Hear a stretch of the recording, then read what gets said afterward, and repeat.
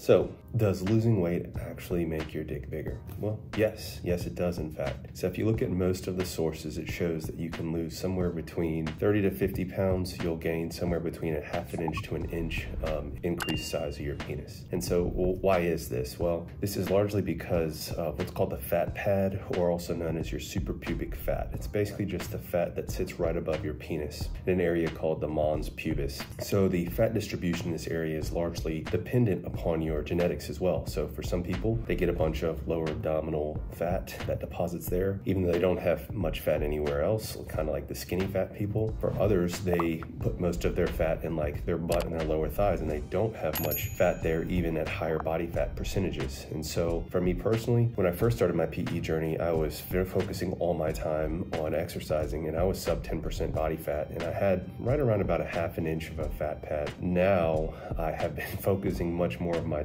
time on PE and also some life changes. And so now I'm down to about, uh, I mean, I'm up to about an inch in actual my, the size of my fat pad. Does this actually make your dick bigger? Well, yes and no. There's two different penile measurements that we use. One is called bone pressed, where basically you stick a ruler as far as you can into that suprapubic fat, and then you measure from that point at the pubis, where basically the, uh, the penis exits the uh, the pubic bone. You measure from there. The next is called your non-bone pressed, or basically the size of your visible penis um, without compressing the ruler into your fat pad. And so for some people, you'll see, especially on some of these subreddits, that difference is like three, sometimes even four inches. And so to be clear, losing weight will increase your non-bone pressed length. How exactly does this make it bigger? Well, first of all, you have to think that there is number one, more visible length. And so there's no longer as much suprapubic fat covering the base of your penis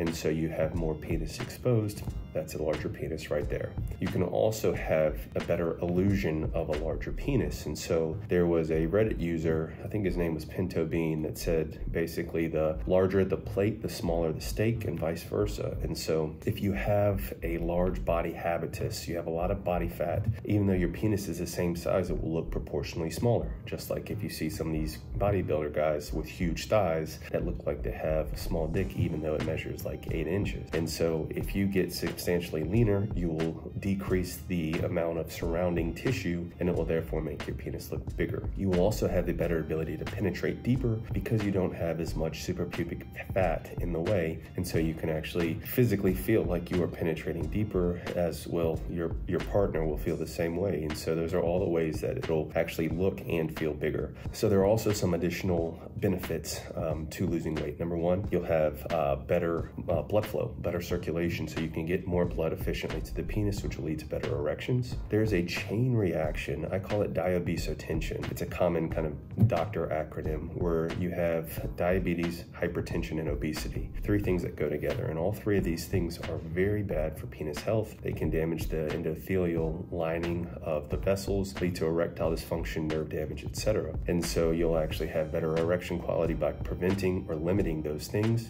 You'll have more stamina in bed due to you're in better shape from losing weight. Your heart doesn't have to work as hard, so you'll become a better lover that way. And I think most importantly, most people will have increased self-esteem and self-confidence. They'll look better in the mirror. This leads to more self-confidence. and leads to better, honestly, overall attractiveness in general. I do understand that this is a complicated issue okay? It's so easy, especially in today's day and age, to have access to very high calorie, highly palatable, delicious foods, and it's hard to make the right decisions. There are also studies that show that sugar is actually more uh, addictive than cocaine. You eat delicious food, you get that dopamine spike, it can become very addictive. But you can always make small changes that add up. And so this is not gonna be a how do you lose 10 pounds in 10 days video, but try to find a diet that's lower in calorie that you can stick to and you can still enjoy. Same thing is to find some exercises that you enjoy. Greg Doucette, uh, for those of you who don't know who he is, that's kind of his whole motto. I've lost a bunch of weight by following his videos. Check him out just move more. Go on a walk after dinner. Instead of taking the elevator or the escalator every day, actually take the stairs. Avoid triggers that cause you to binge eat um, and find a partner to keep you accountable. Uh, if you have a, uh, your partner actually ends up being like your lover, you guys can lose weight together. And then, especially when we're talking about heterosexual couples, if you both decrease your fat pads, that'll definitely lead to better penetration because there won't be as much fat preventing that. So, there are surgical options that you could use as a last resort. This includes a monsplasty, which is where you're actually surgically removing the excess skin and tissue that sits on top of the mons pubis or that suprapubic fat that I was describing. There's also a tummy tuck or an abdominoplasty, which is very similar, where you actually remove the excess skin and tissue, reconstruct that area. You can have liposuction, sucking out the fat in that area. And even now there's cool sculpting, which there'll have to be a separate video on that, to, you know, going through those techniques. In general, I don't understand how more men don't choose to lose weight. Over half the population in the United States is overweight and uh, over a third of them are obese. Whereas just by tackling this alone, you would improve your confidence, you would increase the size of your visible penis, and overall feel better. And so it kind of blows my mind that men will put their dicks in these contraptions and pull on them for hours or inject chemicals into their dick to try to make their dick bigger, when the one thing that would actually increase their visible penis length and help them feel better, they could be using those efforts and getting better goal, better results. But you know, I'm not here to judge. And so in conclusion, you can gain up to about a half an inch to an inch of visible penis per 30 to 50 pounds of body weight lost. There is a user, uh, he goes by the name of 19 Expansion 2X, and he was a very overweight and lost somewhere between 50 to 100 pounds, I don't remember, but had a dramatic improvement in the size of his visible penis. And he is happy to tell you about that if you want to hit him up. Just be the best version of yourself.